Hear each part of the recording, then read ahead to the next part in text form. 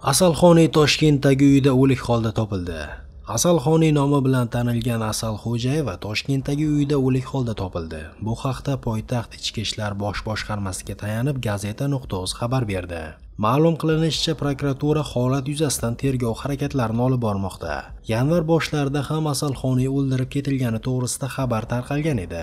O'shanda poytaxt ichki ishlar bosh boshqarmasi buni rad etgan. Asalxoniy 2020-yilda Mirzo Ulug'bek tumani ma'muriy sudi qarori bilan javobgarlikka tortilgani haqida xabarlar berilgandi.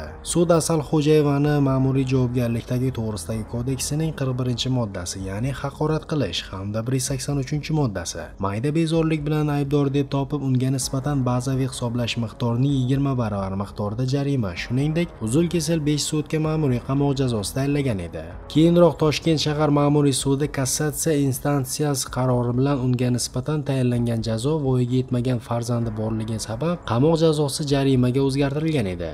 Shundan keyin ham asalxona ijtimoiy tarmoqlardagi sahifalarga turli behayo videolarni joylashtirishni davom etgan. O'shanda asalxoniy rasmiy ravishda ogohlantirilgan va bundan keyin shu kabi xatti harakatlarni amalga oshirsa ma'muriy javobgarlik to'g'risidagi kodeksining tegishli moddalari bilan javobgarlikka tortilishi aytilgan. Profilaktik suhbatdan chiqqan asalxoniy o'zbekiston xalqiga video murojaat yo'llab barchadan uzr so'ragan edi.